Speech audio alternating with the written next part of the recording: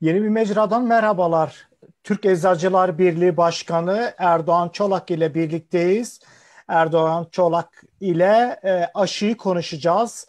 Aşıdaki patenti konuşacağız ve tabii ki eczacıların e, bu pandemi dönemindeki sorunlarını konuşacağız. Hoş geldiniz. Hoş bulduk. İyi yayınlar İrfan Bey. Sağ olun. E, Sayın e, Çolak, e, pandemide aşıya ulaşmak neredeyse mümkün değil. Çünkü Türkiye e, öyle anlaşılıyor ki çok rahat bir şekilde aşıya ulaşamayacak. E, dünyada da buna benzer sorunlar var. E, aşıda patentin kaldırılmasına ilişkin olarak bir takım çabalar var. Dünya Sağlık Örgütü'nün de e, bu yönlü bir eğilimi var. Biden ve Putin de bu konuda sıcak e, e, mesajlar verdi. E, siz kampanya yürütüyorsunuz e, neler yapmak lazım? Aşıda patenti kaldırmak gerekiyor mu? Bu bir çözüm olur mu? Şimdi biz e, öncelikle sağlıkçıyız. E, sağlığın doğuştan kazanılmış bir insan hakkı olduğunu düşünüyoruz. E, ve sağlıkta kişinin kendi inisiyatifinin söz konusu olamayacağını, kendi iradesinin olmadığını, dolayısıyla böyle bir iradenin e, tecellisi halinde ortaya çıkacak e, maruzatların e, mutlaka devlet tarafından çünkü bu e, ciddi finansman isteyen işler bunlar mutlaka devlet tarafından bunun finanse edilmesi gerektiğini düşünüyoruz. Tabii ki e, bilim insanları bir takım ilaçlarla ilgili, aşılarla ilgili çabalar içerisinde bunun maliyetleri var. Bu maliyetlerin karşılanması noktasında talepleri olabilir. Ama aşı olsun, ilaç olsun bunlar insanlığın e, ulaşması gereken ürünler. Yani insanlık buna ulaşmalı ki yaşam devam etsin. E, insanlığın malı yani bunlar. Dolayısıyla onu bir ticari ürün, bir ticari meta gibi görmek doğru bir yaklaşım değil. Nitekim bugün geldiğimiz noktada e, bazı ülkeler kendi nüfuslarının 2-3 katı, 4 katı kadar aşıya ulaşırken zengin ülkeler maalesef yoksul ülkeler hala 7-8 aydır e, aşıya ulaşamayan ülkeler var. E, Türkiye'ye baktığımızda da yaklaşık %10'unu aşılamış vaziyetteyiz. E, oysa bilim insanlarının söylediği şey bir toplumun bağışıklık sisteminin e, güçlenebilmesi açısından e, toplumunun yüzde 60'ının 70'inin aşılanması gerektiğini iddia ediyorlar ve ifade ediyorlar. Dolayısıyla biz o işin biraz uzağındayız şu anda. Ama aşının ulaşmadığı da ülkeler var. E, biz yaklaşık e, biz veya başka ülkeler e, bu pandemi, bu salgın başladığında Kasım, Aralık aylarında yaklaşık 7-8 ay sonra aşı ile ilgili e, müjde vermeye başladılar. So, e, çok sayıda aşı e, o ülkelerin ya da o firmaların gündemine girdi. Biz de Türkiye olarak bu konuda adımlar attık. Şu anda da Eylül, Ekim gibi e, bizim de aşılarımızın gündemde olması bekleniyor.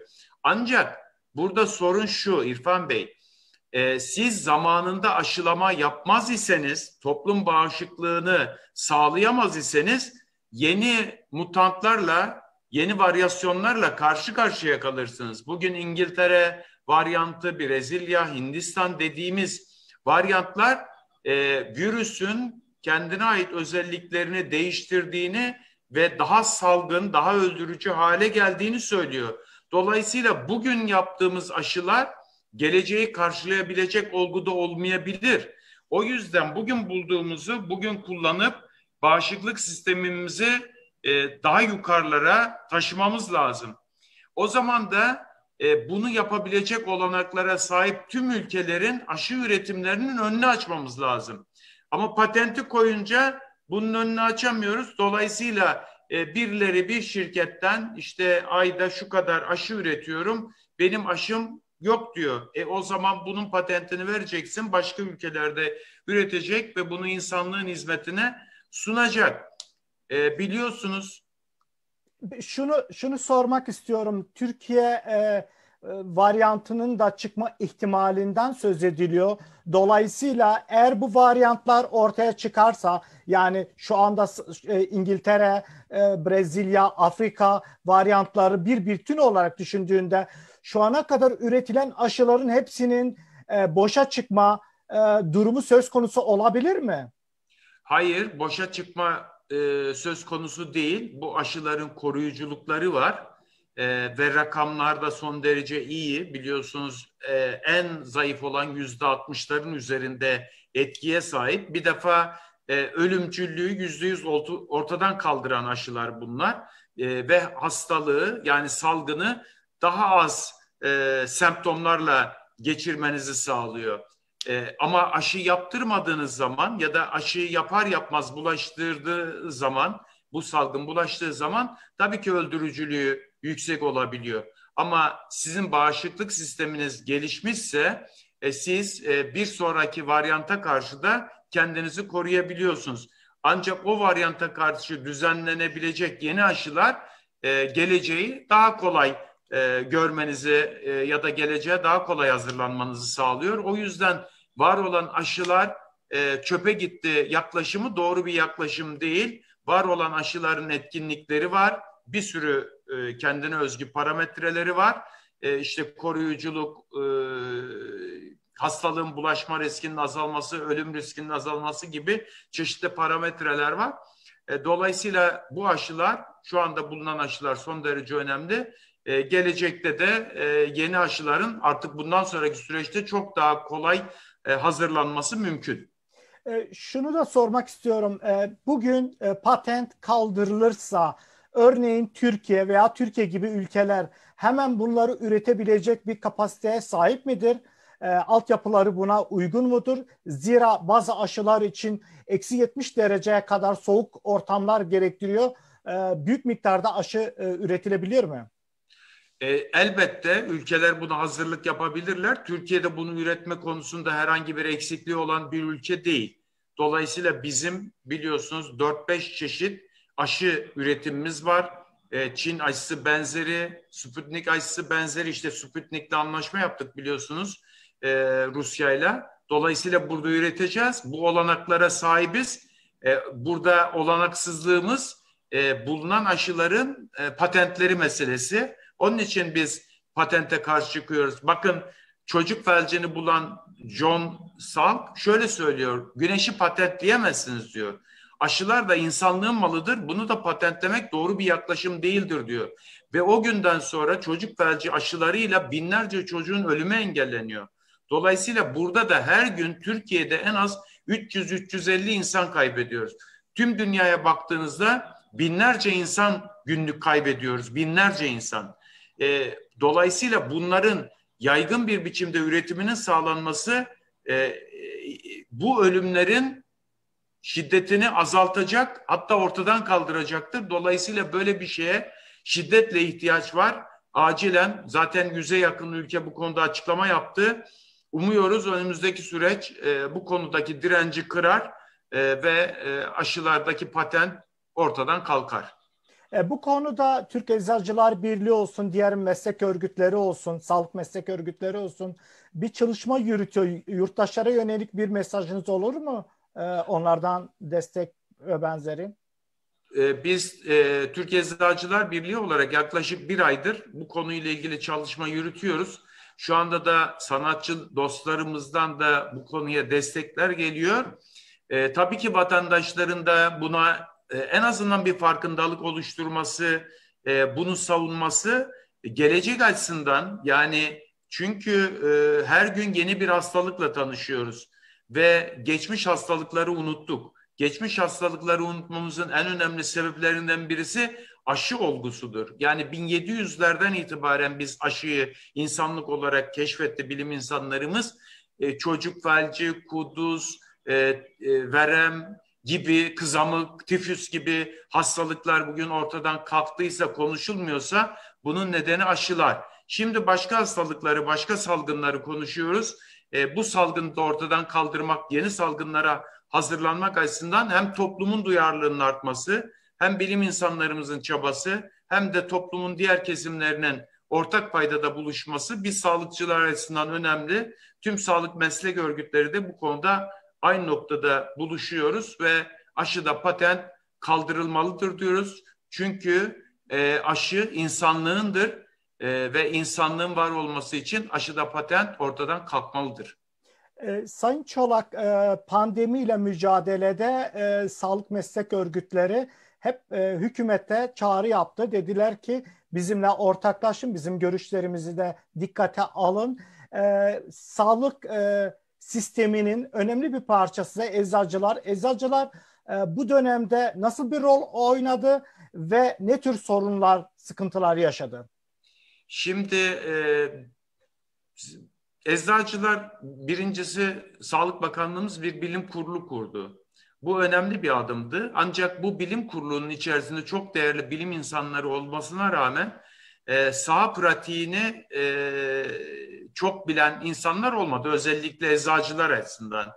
E, eczacılar sonuçta saha pratiğini çok daha iyi biliyorlar. Biz bu bilim kurulunun içerisinde sağlık meslek örgütlerinin olmasını da talep ettik. E, birkaç e, şeyde görüşmemizde, yazılı medyada e, ama olmadı. E, dolayısıyla e, bu pratik gerçekleşmedi. E, bilim insanlarımız e, sonuçta bir takım açıklamalar yaptılar. Biz e, bu süreçte özellikle hekimlerimizin ve hemşirelerimizin, diş hekimlerimizin çabalarını da takdirle karşılamak lazım.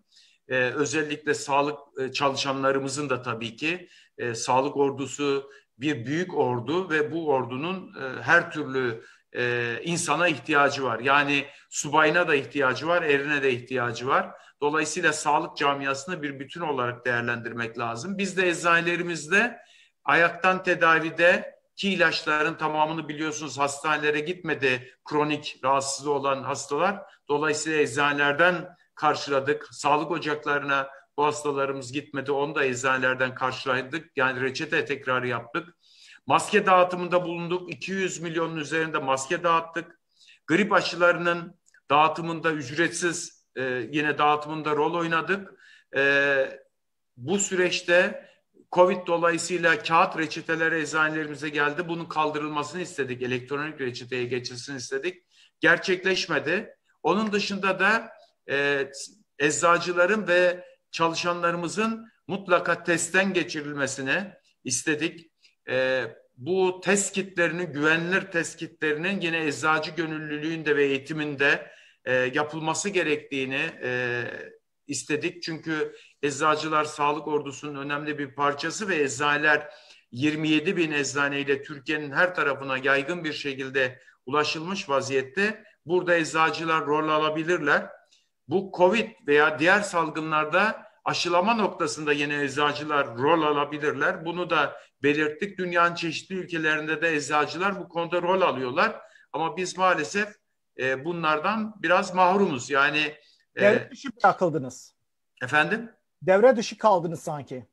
E, yani e, yasal olarak eczacıların hem aşılama hem enjeksiyon yapma e, yasada tanımlanmamış. Ama yurt dışında özellikle sağlık e, camiası içerisinde eczacılar tanımlanıyor ve katkıda bulunuyorlar. Çok önemli bir lokomotif görevi görüyorlar. Çünkü en önemli özellikleri eczacıların ve eczanelerin yaygınlıkları. Yani bugün e, mecra e, çeşitli me, mecralarda e, eczanelerimiz var. Yani beldelerde işte 2000 nüfuslu, 1500 nüfuslu yerlerde eczanelerimiz var halk sağlığının yaygınlığı noktasında eczanelerimiz önemli bir işlev görüyorlar.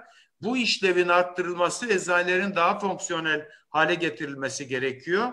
E, tabii ki burada sağlık ordusunun çok büyük çabaları var.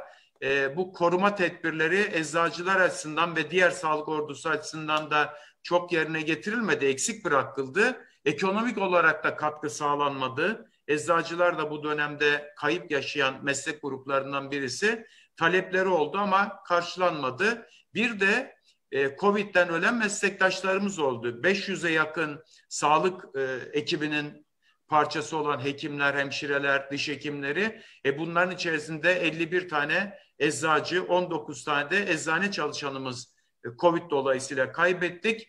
E, bu bir meslek hastalığı sayılmalı. Burada illiyet bağının aranması doğru bir yaklaşım değil. Yani sonuçta eczanelerimize binlerce reçete geliyor ve bunların çoğunda da COVID hastaları ellerinde reçetelerle geliyor. Yani bu sahada, sağlık alanında çalışmıyorsanız size bulaşabilecek e, bir ortam yaratılmadığı sürece olmaz. Dolayısıyla bu bir meslek hastalığı olarak sayılmalı ve bu illiyet bağı ortadan kaldırılmalı diye düşünüyoruz, talep ediyoruz.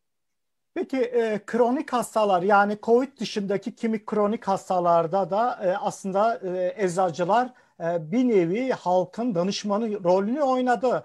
E, hastaneye gidemeyenler eczaneye gittiler, ona danıştılar. E, o konuda e, bir e, yardımcı bir e, sağlık e, rolü oynamış olabilir mi e, eczacılar? Şimdi eczacı ilaç ilacın uzmanı, aynı zamanda bir sağlık danışmanı. Eczanelerimiz birinci basamak sağlık hizmeti gören yerler zaten. Dolayısıyla biz hastanın sağlığı konusunda ilacını kullanması noktasında piyasada yapılan spekülasyonlarla ilgili, yanlış bilgilerle ilgili, bilgi kirliliği ile ilgili vatandaşı bilgilendiren, aydınlatan önemli merkezleriz. E, ve buna fırsatı olan merkezleriz. Yani bizde e, üst üste yığılan bir hasta potansiyeli olmadığı için onlarla konuşabilme, onları anlayabilme, anlatabilme olanağına da sahibiz. Bu konuda e, önemli bir sağlık danışmanıyız e, ve bunu da yerine getirmeye çalışıyoruz. Şimdiye kadar kronik hastalıklarda özellikle eczacılar e, vatandaşa bilgi aktarımında bulundular. Ama bugün geldiğimiz noktada artık bulaşıcı hastalıklarda da eczacılar yol gösterici, aydınlatıcı e, ve danışmanlık yapabilir noktadalar. E, bu fonksiyonlar eczacılara daha çok kazandırılır e, ve eczacılar o noktaya taşınabilirse e, göreceksiniz tüm dünyada eczacılar bu fonksiyonları sağlıyorlar. Sağlık otoritesi bu olanakları sağlıyor eczacılara. E, burada da olursa sağlık alanına çok önemli bir katkıda bulunmuş olacağız. Çünkü bizim için önemli olan halk sağlığının daha iyi noktaya taşınması. Bizim motivasyonumuz buna bağlı. E, Sayın Çolak, e, Eczacılar Günü yaklaşıyor. Eczacıların e, diğer alanlarda da e, sektörle ilgili, sektörel anlamda da sorunlar yaşıyor. Bunlardan birisi marketler. E, Eczacılar Günü'nde öne çıkan problemlerinizi de kısaca da olsa, başlıklar halinde de olsa dinlemek isteriz.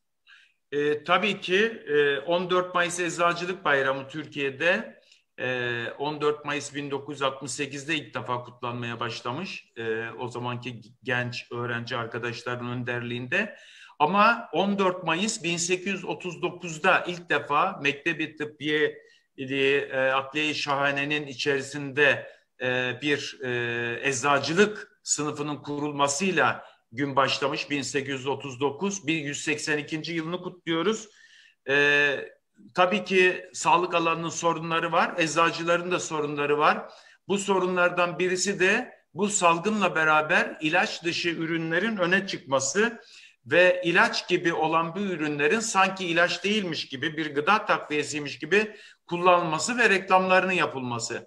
Bu hekimi, eczacıyı devreden çıkaran, hastanın hastalığını teşhis etmeyi ortadan kaldıran, hastanın daha önce kullandığı ilaçlara daha fazla etki eden ya da daha etkisini azaltan ya da etkisini ortadan kaldıran bir takım unsurlar bu ürünler. Dolayısıyla bunların e, gelişi güzel internet ortamından ya da marketlerden satılması doğru bir yaklaşım değil.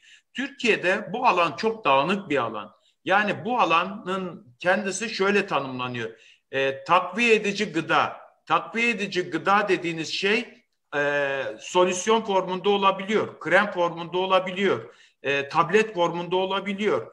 E, diğer e, oral yollardan kullanılabilecek biçimde e, ortaya çıkarılmış ürünler oluyor bunlar ve bunlar vücutta vücudu iyileştirdiğini, fayda sağladığını söyleyerek piyasaya çıkıyor. E, vücutta fayda sağlıyorsa demek ki bir alanı iyileştirebilme özelliğine sahip. E, bunların beraber kullanması bazen çok büyük sakıncalara yol açabiliyor. Dolayısıyla bu alanın düzenlenmesi lazım. Bu alanda muzdaribiz. Bir, alan bir sağlık alanı ama sağlık dışındaki insanlar tarafından alan e, çok gelişi güzel kullanılıyor. e, bunun ortadan kaldırılması lazım halk sağlığı açısından. İnternet ortamında ilaç satışlarının ve diğer ürünlerin satışının engellenmesi lazım. Hekimi, eczacıyı devreden çıkaran anlayış doğru bir anlayış değildir. Bu vatandaşın sağlığını bozar. Çok ciddi ekonomik, çok ciddi sağlık sorunlarına yol açar. Dolayısıyla bu alanın devlet tarafından düzenlenmesi lazım. Bir de 2004'te ilaç fiyat kararnamesi değişti. 2004'ten bu yana ilaç fiyat kararnamesi değişmedi. Ya biz e, yaklaşık e, 17 yıldır e, değişmeyen ilaç fiyat kararnamesiyle kendi mesleğimizi sürdürmeye çalışıyoruz ve bizim karlılığımız ilaç fiyatlarına bağlı. İlaç fiyatları zam aldıkça eczacı karlılığı düşüyor. Eczacı karlılığı düştükçe eczanenin döne, dönebilirliği ortadan kalkıyor. Yani biz buradan bir gelir elde edelim noktasında değiliz ama bir meslek mensubu olarak hayatımızı idame ettirmek, iyi yaşamak e, gibi bir talebimiz var. E, güzel yaşamak gibi bir talebimiz var.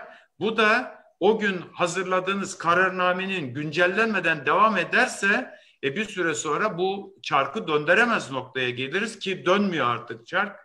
O yüzden ilaç fiyat kararnamesinin de acilen güncellenmesinde yarar var. Onun gibi çok sayıda sorunlarımız var. SGK protokolleri var. Göç idaresi protokolleri var. Bunlarda yaşanan sorunlar var. İlaç sanayinin vermediği ama devletin tahsil edil, ettiği e, kamu kurum iskontosu dediğimiz bir takım e, sanayiden alıyor gibi gözüktüğü eczacıdan aldığı baremler var. Tüm bunlarla ilgili yoğun bir şekilde taleplerimizi dillendiriyoruz ama e, karşılığını çok fazla bulduğumuz söylenemez.